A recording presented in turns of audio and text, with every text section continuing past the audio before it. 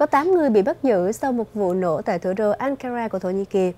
Thưa quý vị, lực lượng an ninh Thổ Nhĩ Kỳ vào ngày thứ Sáu, ngày 2 tháng 2 cho biết, họ đã bắt giữ được 8 người bị tình nghi là có dính líu tới một vụ đánh bom khủng bố, vốn đã làm rung chuyển thủ đô Ankara vào tối thứ Năm ngày 1 tháng 2, khiến cho ít nhất là 3 người bị thương tích. Thủ phạm thứ 9 đã bị bắn chết trong màn đấu súng với cảnh sát. Không lâu sau khi vụ nổ súng xảy ra, giới chức trách đã ra thông cáo cho biết vụ tấn công đã làm rung chuyển một văn phòng khai thuế tại quận Kukurampa. Hệ thống camera an ninh thu hình tại đây đã quay lại được cảnh tượng một người đàn ông đang đặt chiếc túi có chứa thuốc nổ ngay tại lối ra vào của tòa nhà. Một người trong số các nghi phạm được cho là đã đặt chân vào lãnh thổ của Thổ Nhĩ Kỳ một cách bất hợp pháp và từng gia nhập vào nhóm chiến binh vũ trang người Kurd YPG, vốn có liên hệ mật thiết với nhóm YPG và đảng lao động người Kurd PKK.